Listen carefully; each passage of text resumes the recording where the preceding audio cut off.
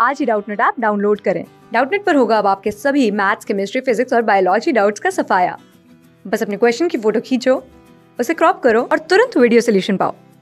Download now.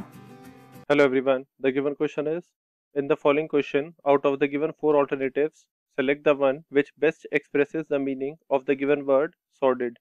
ठीक है अब देखो यहाँ पे हमें एक वर्ड गिवन है जिसका हमको सिनोनिम फाइंड आउट करना है। मतलब जिसका सेम मीनिंग हो as the given word and further we are given four options dirty reputable good and honorable ठीक है so we have option A B C and D right अब देखो यहाँ पे सबसे पहले हम इसी वर्ड का मतलब देख लेते हैं क्या होता है so we have the word sordid अब देखो sordid मतलब क्या होता है गंदा ठीक है या फिर वी कैन से डर्टी और अनप्लेजेंट ठीक है और अनप्लेजेंट मतलब अप्रिय जो हमको अच्छा ना लगे राइट यहाँ से देखो ऑप्शन नंबर ए तो हमारा करेक्टली मैच हो रहा है इससे सॉलिड से। तो डर्टी तो जाएगा इसका करेक्ट सिनोनिम ठीक है? डर्टी मतलब भी क्या होता है? डिसऑनेस्ट या फिर डिसऑनरेबल कह सकते हैं हम।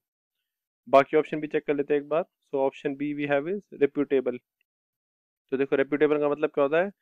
The one having a good reputation मतलब जिसकी थोड़ी अच्छी रेपुटेशन बनी हो। हैविंग अ गुड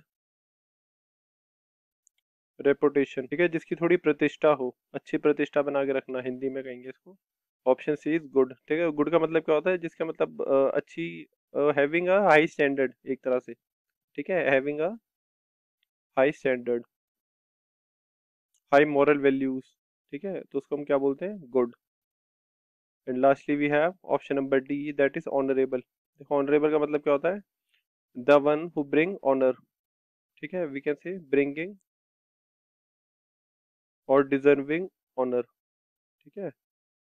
ब्रिंगिंग और डिजर्विंग ऑनर मतलब सामान लेने के या फिर सामान लाने के योग्य जो होता है, उसको हम बोलते हैं ऑनरेबल तो यहाँ से देखो ऑप्शन नंबर ए हमारा करेक्टली मैच कर रहा है so option A will be the correct option thank you class six से ट्वेल्थ से लेके NEET I I T JEE Mains और एडवांस के लेवल तक.